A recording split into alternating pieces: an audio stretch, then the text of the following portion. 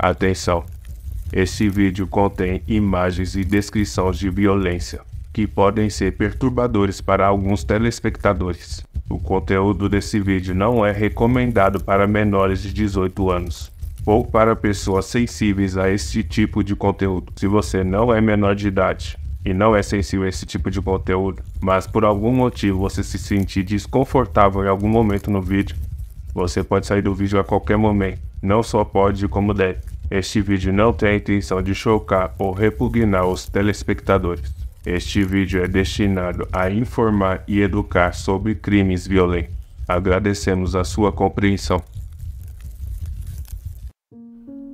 No dia 25 de outubro de 1994, a pequena cidade de Union, na Carolina do Sul, Estados Unidos, se viu em volta de uma trama sinistra que abalou não apenas a pequena cidade, mas também todos os Estados Unidos. Susan Smith, uma mãe aparentemente comum, chocou a todos quando relatou o sequestro de seus filhos. Michael e Alex Smith. Susan alegou que foi abordada por um homem jovem afro-americano que levou o carro dela, com as crianças dentro, nove dias após o ocorrido. No dia 3 de novembro de 1994, as crianças foram encontradas, porém, infelizmente já estavam sem vida. Seus corpos foram encontrados no carro de Susan, no fundo do lago John D. Long, no fundo dessa trágica história emergem questões obscuras sobre a psique humana e os limites da tragédia, o que deixou uma cicatriz indelével na memória da cidade. As motivações por trás desse ato monstruoso são estudados até os dias de hoje, nos levando a refletir sobre a perplexidade desse caso o silêncio estarrecedor que cobre o lago John D. Long parece ecoar a dor de uma nação que teve que confrontar a crueldade de um crime cometido por aqueles em quem confiavam. Esse caso permanece como um triste capítulo na história, lembrando-nos da fragilidade da vida e da complexidade das relações humanas. Se você acompanha esse tipo de conteúdo e quer ver o desfecho perturbador desse caso, considere a se inscrever no canal e junte-se a nós em mais um caso de True Crime. Este é o caso de Susan Smith.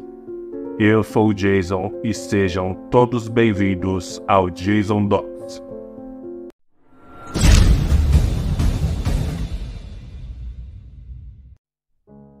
Susan Legge Vaughan Nasceu no dia 26 de setembro de 1971 na cidade de Union, Carolina do Sul. Em uma família conturbada, Susan teve uma infância difícil, marcada por problemas familiares. Em 15 de janeiro de 1978, Harry Ray Vaughan, pai de Susan, deu fim à própria vida aos 34 anos de idade por um disparo de espingarda após sua esposa Linda Harrison pedir pelo divórcio.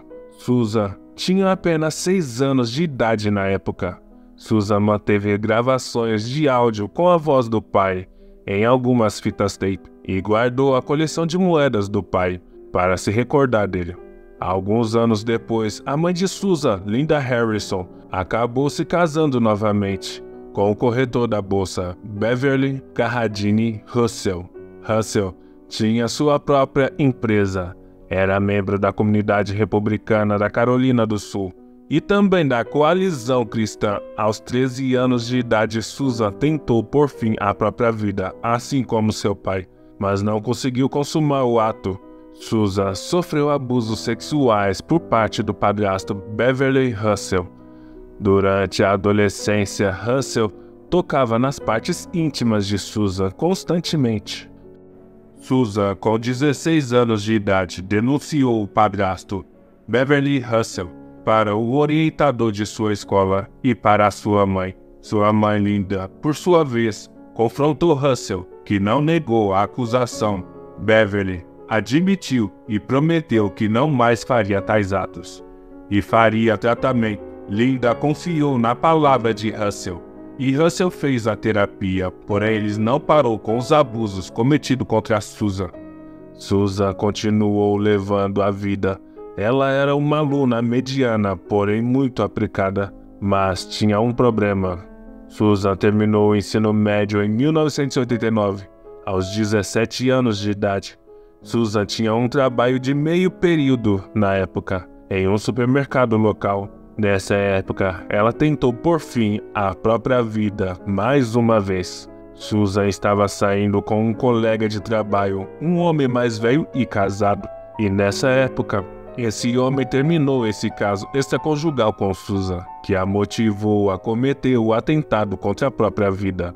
Mas logo, ela conheceu David Smith, outro colega de trabalho de Susan. David teve uma criação rígida, uma vez que seus pais eram testemunhas de Jeová. Susan engravidou. Então Susan e David se casaram em 1991, quando Susan estava grávida de dois meses do seu primeiro filho. Susan e David tiveram dois filhos juntos. Michael Daniel Smith nasceu em 1991 e Alexander Tyler Smith nasceu em 1993. Embora David e Susan tenham tido dois filhos, o relacionamento deles era instável por crises de ciúmes, onde rumores de infidelidades por ambas as partes começou a ecoar, ocasionando intrigas entre o casal, que se separaram diversas vezes durante o período de 1991 a 1994. Apesar de todos os percalços da vida, Susan era considerada uma jovem inteligente e muito bonita, e com uma vida inteira pela frente. No entanto, sabemos que não é simples lidar com os traumas do passado. Esses traumas sempre acabam voltando para nos assombrar, como fantasmas, e quando pensamos que não tem mais como piorar e que tudo de ruim que poderia acontecer já aconteceu, é aí que tudo vem à tona e a sina nos prova que não importa o quão ruim as coisas estão, sempre pode piorar. No dia 25 de outubro de 1994, Susan Smith ligou desesperada para a polícia, alegando ter sido assaltada por um homem afro-americano que levou seu carro e seus filhos Michael e Alexander Smith estavam dentro do veículo e foram levados junto. A polícia entrou no caso e começou as buscas pelas crianças. Susan deu a descrição do homem para a polícia, que fez um retrato falado do meliante e começou uma caçada nacional e grande transtorno à comunidade afro-americana. Susan e David Smith foram à mídia e clamaram em rede nacional pelo retorno dos filhos. Susan e David não estavam bem um com o outro o relacionamento do casal estava a um fio. Porém, com o sequestro dos filhos, o casal ficou mais unido do que nunca. Não saíram um do lado do outro durante esse período de aflição e angústia. Porém, no dia 3 de outubro, nove dias após o desaparecimento das crianças, depois de cada agente da lei em todo o país sair às ruas em busca dos dois garotos, depois que a comunidade afro-americana inteira da Carolina do Sul passou por grandes problemas e depois da mídia ter orquestrado toda a opinião pública do país, e enfim, depois de cada cidadão americano se revoltar pelos filhos terem sido arrancados da mãe, veio o sentimento coletivo de traição. Cada cidadão norte-americano sentiu essa sensação de traição bem no âmago. E esse sentimento veio nove dias depois do desaparecimento das crianças, quando a polícia confrontou Susan, pois em sua declaração Susan alegou que estava em uma rua deserta quando conduzia o veículo com os filhos e parou com o veículo no farol vermelho quando foi abordada. Com esse relato, os policiais ficaram com uma pulga atrás da orelha, porque os semáforos daquela região funciona através de sensores de movimento. Se a rua estava deserta da forma como Susan alegou, era para o semáforo estar verde e não vermelho. Sendo assim, não havia motivo para ela parar no semáforo em uma rua deserta. Essa contradição levou os oficiais a confrontar Susan. que fez uma confissão macabra aos policiais. Susan relatou que ela estava com os filhos no veículo em frente ao lago John D. Long. Ela amarrou os filhos dentro do veículo, soltou o freio de mão e saiu do veículo, deixando o veículo entrar no fundo do lago. A polícia e os bombeiros foram até o lago e mergulhadores ajudaram a retirar o carro com o corpo das crianças do fundo do lago. O carro havia parado a mais ou menos cerca de 10 metros da margem do lago. A confissão de Susan veio no dia 3 de novembro de 1994, após a polícia intensificar a pressão em cima das inconsistências do depoimento de Susan. Sentindo que seria pega a qualquer momento, Susan resolveu confessar já detida, quando questionada o porquê dela ter feito isso com os próprios filhos, Susan declarou que estava tendo um caso com um homem rico chamado Tom Findlay. Susan alegou que pretendia deixar o relacionamento com o marido para viver com Findlay. No entanto, Susan teria recebido uma carta de Tom Findlay terminando a relação entre os dois, pois ele não queria filhos. E após essa carta, ela alega que se livrou dos filhos para ter uma vida melhor ao lado do amante. Susan alegou que não premeditou nada, ela não planejou a morte dos filhos e disse que apenas não se encontrava num bom estado de espírito, mas o estrago já estava feito. Michael, de 3 anos, e o irmão Alexander, de 1 ano e 2 meses, já não vivem mais. E toda a América que chorou junto com Susan se sentiu traídos, não só por terem sido enganados, mas porque ela culpou um afro-americano inventado que causou uma série de problemas para uma comunidade que tinham recém vencido consideráveis batalhas para garantir uma vida digna aos seus filhos, pois Susan havia alegado que um homem afro-americano havia roubado seu veículo com os filhos dentro. No entanto, ela confessou ter afogado os próprios filhos, deliberadamente, e confessou que havia mentido a respeito de um homem afro-americano ter cometido tal ato. A falsa acusação irresponsável de Susan ressalta como a disseminação irresponsável de informações pode perpetuar estereótipos prejudiciais. Esse caso se tornou um alerta para a importância de verificar informações antes de espalhá-las, promovendo assim uma comunicação mais consciente e evitando danos à reputação de indivíduos e comunidades. Ela descreveu um homem negro como o responsável, alimentando a tensão racial e a comoção pública. Susan traiu toda a América e ela passou a ser a pessoa mais desprezada da América. Não só por ter traído o marido, não só por ter traído uma comunidade e não só apenas por ter traído o país inteiro, mas Susan Smith se tornou a pessoa mais desprezada do país por ter traído Michael Daniel Smith, de 3 anos, e por ter traído Alexander Tyler Smith, de 1 ano. Susan traiu o amor incondicional que uma mãe deveria ter pelos seus filhos. A polícia ficou com o pé atrás com Susan e David desde o início. Levou nove dias do desaparecimento das crianças até Susan confessar. No entanto, Desde o segundo dia de buscas pelos garotos, os policiais tinham suas suspeitas, tanto que no segundo dia de buscas, o casal Smith foram submetidos ao polígrafo. Porém, o resultado não foi conclusivo. Os oficiais foi aumentando a pressão até que obteve a confissão de Susan. O julgamento de Susan Smith teve início em 1995 um ano após os acontecimentos, e o julgamento foi um circo midiático, com a mídia e o público divididos entre a compaixão e a indignação.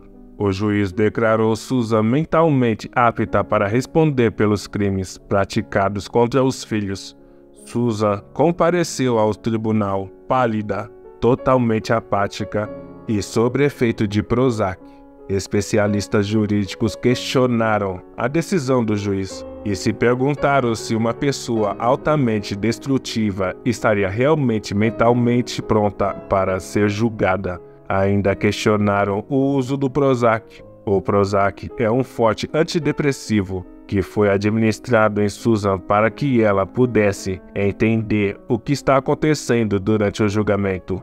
Porém, os especialistas deduziram que isso poderia ser uma manobra para ser usado para a condenação de Susan, uma vez que ela estava chapada de medicamento. Porém, alguns se perguntam se a suposta estabilidade mental não era apenas mais uma mentira para poder se safar impune dos crimes. O juiz, vendo a situação, perguntou a Susan se ela sabia o porquê de estar sendo julgada. E Susan respondeu: assassinato. Apenas isso, só isso ela falou. Então o juiz ainda perguntou se Susan sabia o que poderia acontecer com ela caso ela fosse declarada culpada naquele tribunal. E Susan respondeu: pena de morte. Então o juiz dirigiu mais uma pergunta a Susan, perguntando se ela tinha alguma dificuldade em compreender os advogados ou se os advogados tinham alguma dificuldade de compreender Susan.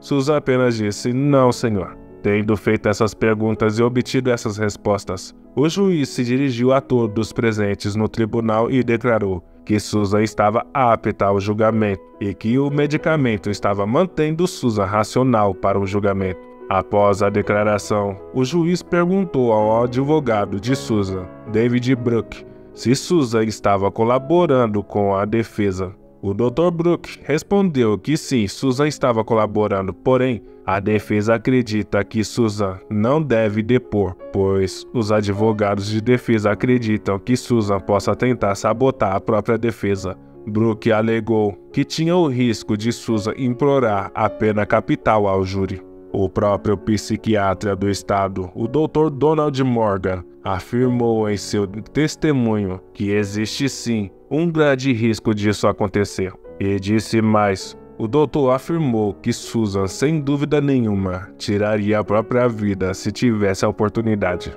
Alguns dos jurados foram dispensados da bancada antes mesmo de iniciar o julgamento, por serem contra a pena capital. Uma das juradas não era exatamente contra a pena de morte, mas ela deixou bem claro que em nenhuma hipótese que seja condenaria Susan à morte, uma vez que elas foram colegas no tempo de escola. Ela foi removida do caso pela alegação de que o júri era para ser imparcial, o que muitos acharam uma grande hipocrisia pois eles removeram todos os que eram contra a pena capital, deixando apenas pessoas adeptas à pena capital.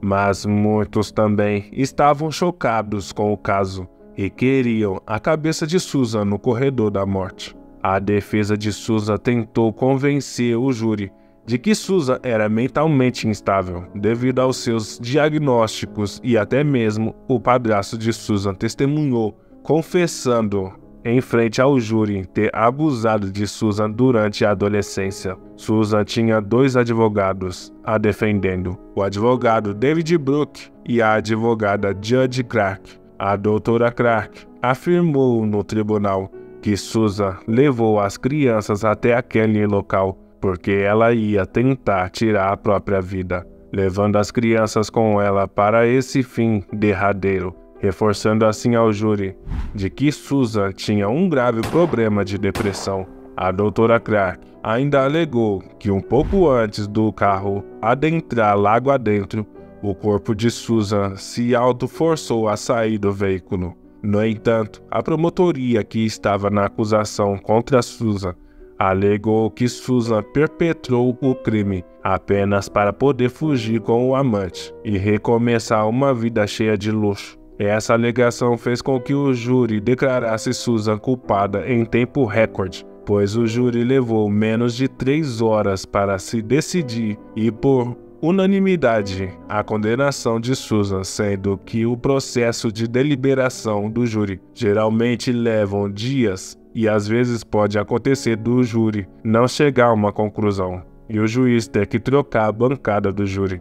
A promotoria do caso pediu a pena capital para Susan, porém, o júri achou a pena capital um ato excessivo para o caso, mesmo todos os membros do júri sendo adeptos à pena capital.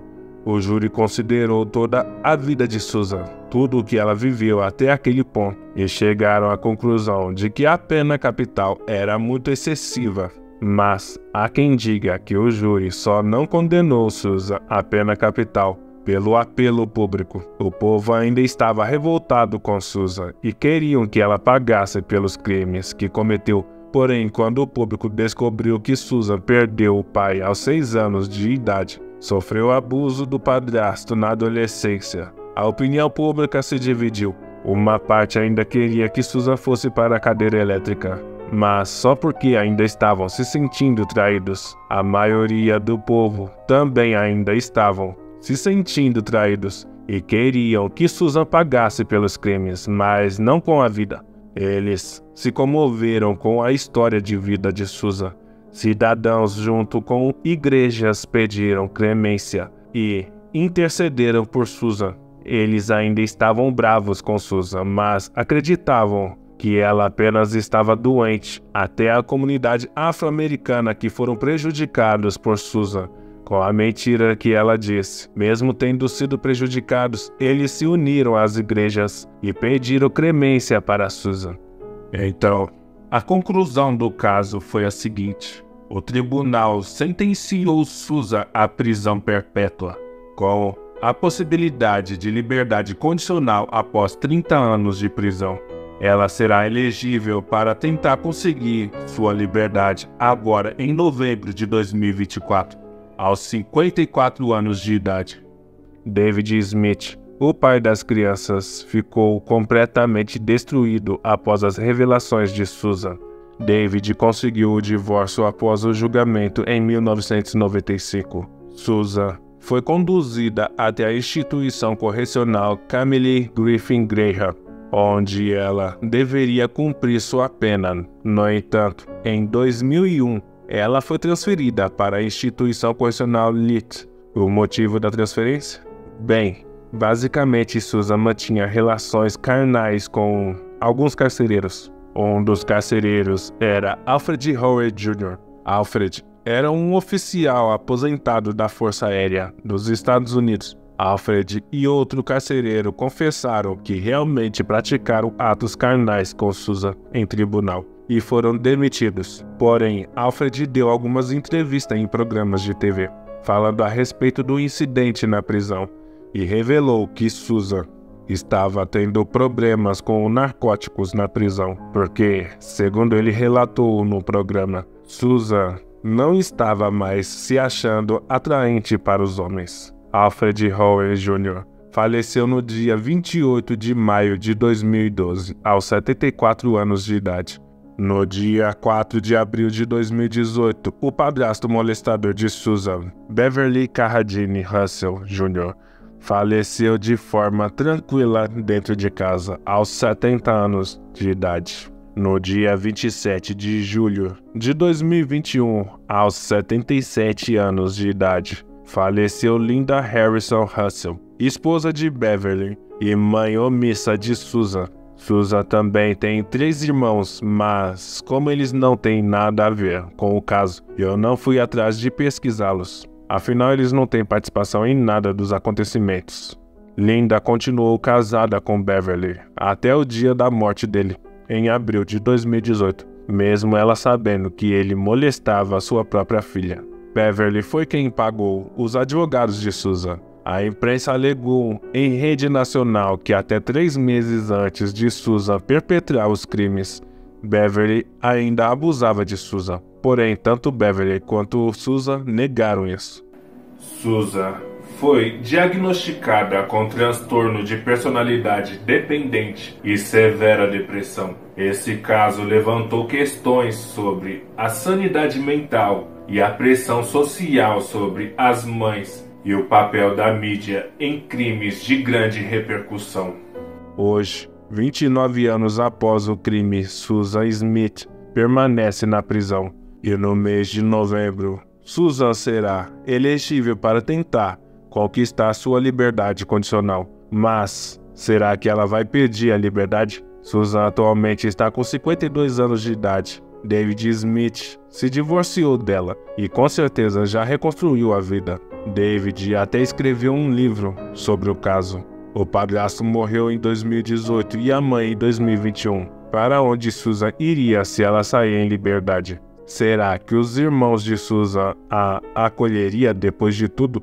Como seria a vida de Susan atualmente em sociedade, conforme os anos foram se passando? As pessoas passaram a culpar menos Susan e mais a família dela. Tipo, o padrasto confessou ter abusado de uma menor em tribunal na frente de autoridades e não foi preso. E uma mãe de uma vítima de abuso não se separou do agressor, continuou casada com o agressor da própria filha até o fim de suas vidas, como se nada tivesse acontecido. Eu acho isso extremamente bizarro.